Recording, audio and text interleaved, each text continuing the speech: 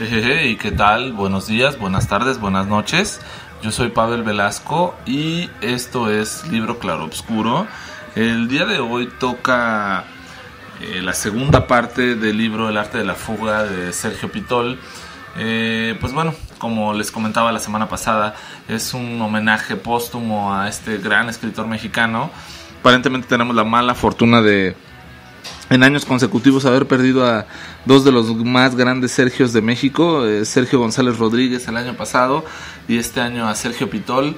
Y bueno, pues eh, en esta ocasión, y mm, no sé si va a ser la única vez que pasa el libro Claro Oscuro, pero pareciera que sí, se toma la decisión de hacerlo en una trilogía de reseña, puesto que es un libro, como les decía, de libros, ¿no? Es un libro de escritura, es un libro de lectura y es un libro de referencias, de historias personales. A diferencia de los libros comunes, eh, los cuales podemos leer de un tirón, estos libros vale mucho la pena eh, poderlos disfrutar. Eh, luego es curioso ver que en las páginas de este libro podemos encontrar en una misma página 4, 5, 6 referencias bibliográficas, 4, 5, 6 autores, 4, 5, 6 grandísimas obras que pues no es tan sencillo nada más ir leyendo y dejarlo pasar, ¿no? Eh, son citas obligadas en las cuales te hace pensar como lector eh, qué voy a seguir o en qué voy a continuar. Entonces muchas veces los mismos libros te van llevando a otras lecturas o te llevan a otros libros, pero en este libro eh, pasa esa curiosa situación de que cada página te va llevando a nuevos libros a nuevas historias. Entonces muy complicado eh, si te gustan los libros solamente leerlo de un tirón y dejarlo así. Por esta razón hacemos esta segunda parte y que va enfocada en específico a la escritura. Entonces, eh, en uno de sus viajes eh, a Siena, pues tuvo la oportunidad de conocer en, pues, de forma, de decirlo así, fortuita a Antonio Tabucchi, al cual pues como, como ya saben, eh, reseñamos aquí en Libro Claroscuro hace algún tiempo, en Sostiene Pereira, y bueno, eh, estaba dando una conferencia y a la mitad de la conferencia llegó Antonio junto a su esposa. Eh, al terminar, pues fueron a tomar un café y Sergio pues tenía en mente preguntarle sobre su, su, novela La línea del horizonte, que era pues la más grande novela de Antonio Tabucchi, que le llamaba la atención y pues bueno, le generaba cierta inquietud, cierta duda, pues saber de ella, ¿no? También tenía como favoritas La Dama del Porto Pim y Nocturno Hindú. Voy mencionando todas las obras y autores que va reseñando en este libro Sergio Pitol, pero en definitiva son muchísimos. Eh, este, eh, hasta el momento en la parte que vamos reseñando, pues si podemos hablar al menos de 100 obras eh, imprescindibles, pues quizás serían pocas, ¿no? Entonces sí es un libro que vale mucho la pena se puedan acercar a él y bueno, y, bueno, pues también tomen de referencia algunos de los libros que recomienda Sergio Pitol en esta en esta obra. Y bueno, pues ya resulta que pues ya con la idea y al fin el gusto de poner poder conocer a uno de los grandes autores, Antonio Tabucchi, este pues él tuvo la mala fortuna de ir de copiloto en el coche y tenía la digo la mala fortuna porque él era como sordo de la oreja izquierda, entonces como iba de copiloto pues le tocó la oreja buena ir en la ventanilla con la ventanilla abierta, entonces no podía escuchar mucho de lo que le decía Antonio y bueno, entonces en su momento eh, Sergio Pitol pues narra eh, en, en, este libro pues que a él le chocaba a la gente parlanchina, ¿no? Que él era más bien una persona reservada, callada y que no disfrutaba tanto de las compañías de estas personas que hablan mucho, ¿no? Entonces, pues le pasó ahora tomar ese papel de esa persona parlanchina y se la pasó hablando durante dos horas de Porfirio Díaz.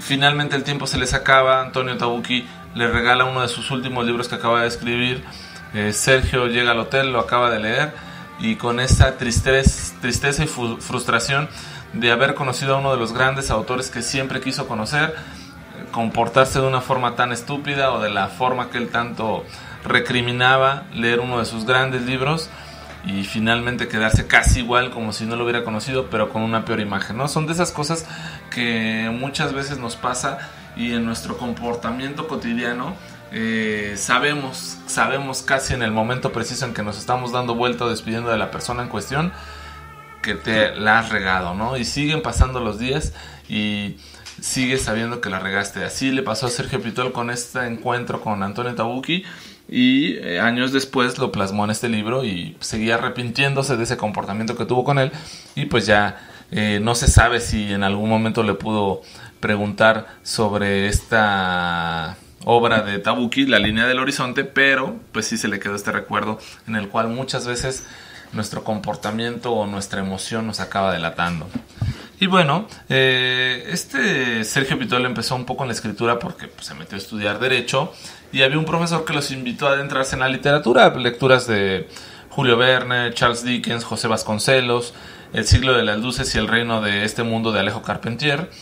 Y bueno, entonces eh, es curioso, ¿no? Que luego tu misma carrera eh, o lo que tú escoges por pues, quizá decisión o porque tus familiares inciden en tu decisión, pues acaba trasladándote a otro lado y así le pasó a Sergio, eh, lejos de la abogacía o las leyes, pues acabó un poco en las letras.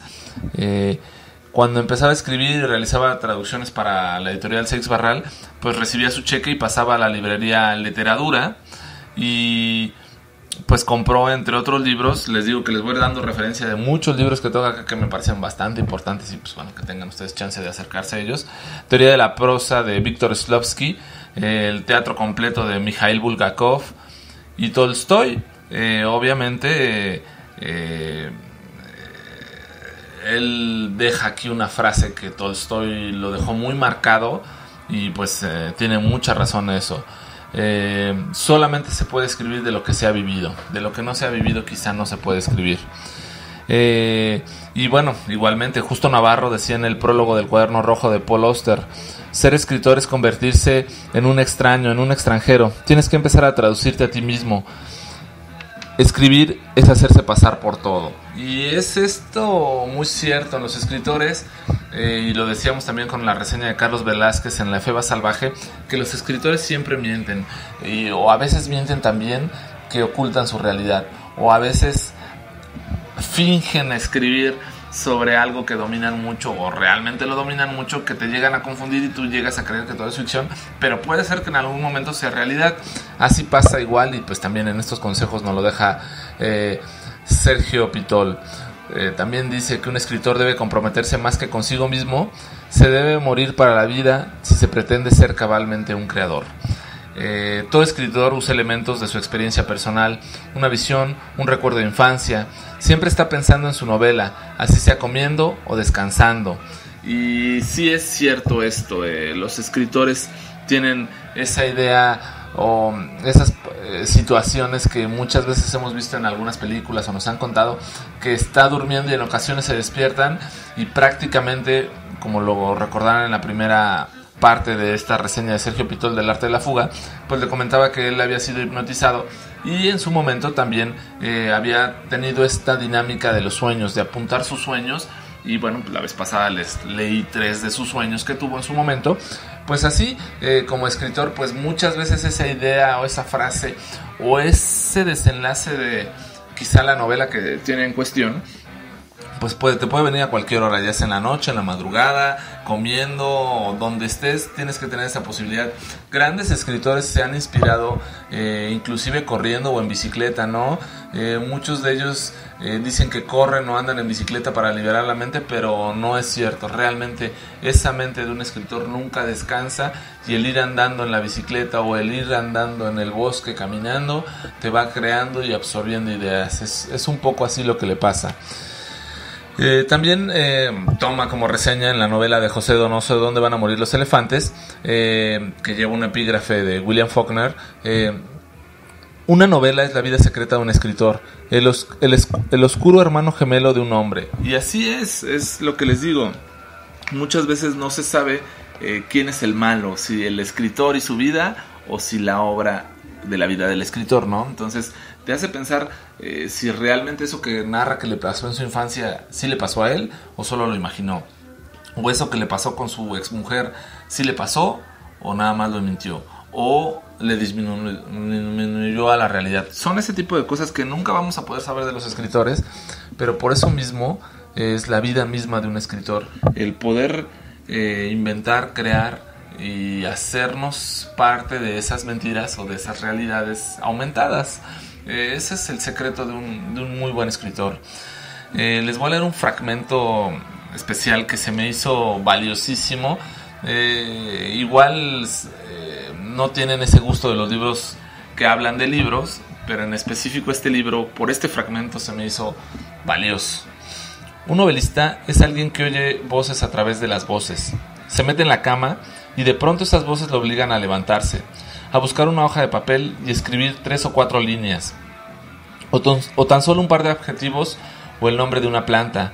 Esas características y unas cuantas más hacen que su vida mantenga una notable semejanza con la de los dementes, lo que para nada lo angustia. Agradece, por el contrario, a las musas el haber transmitido esas voces sin las cuales se sentiría perdido. Con ellas va trazando el mapa de su vida. Sabe que cuando ya no pueda hacerlo, le llegará la muerte. No la definitiva, sino la muerte en vida, el silencio, la hibernación, la parálisis, lo que es infinitamente peor. Y así es con los escritores. Realmente un escritor en su vida eh, escribe por qué, para sentirse vivo. Eh, no recuerdo muy bien si Vargas Llosa lo decía. Eh, ¿Por qué escribimos? Porque somos inconformes, porque no nos gusta nuestra realidad, porque no nos gusta la vida en que estamos y tenemos que reclamar o dejar algo a la posteridad. ¿Qué es eso? Pues lo que podamos platicar de nuestra vida y de la forma que más nos agrade. Así es un poco el discurso que deja un novelista, y en este caso pues Sergio Pitol lo plasma en este fragmento que les acabo de leer que la verdad que para mí vale la pena, ¿no? Eh, también llega una parte en la cual eh, es esa ambigüedad del viajar y el escribir. El gusto por los viajes da pie a grandes historias, por supuesto, y a otros tantos recuerdos. Y algo similar pues nos pasa al escribir. Tienes esa capacidad de viajar y crear tu propio destino. Eh, en ocasiones puedes entrar en un mundo mágico de poder concebir una idea, un viaje y plasmarlo en palabras. Ese momento mágico tan auténtico, eh, muchas veces como lectores lo captamos. Eh, cuando vamos leyendo un fragmento, una frase, un párrafo, un capítulo en un libro, eh, nos parece extraordinario, pero más extraordinario puede ser aún para el escritor cuando concibió esa idea y la trasladó a las palabras. Ese momento mágico, creativo, pues lo podemos percibir muchas veces como lector. Eh, la similitud siempre entre un viajero y un escritor eh, cae en esta certeza, ¿no? Que se tiene pues solamente la certeza de que partes del viaje o partes de la escritura es lo único que sabes, pero realmente pues nunca sabes lo que te espera en el trayecto o en el paso de los días o quizá en tu destino final.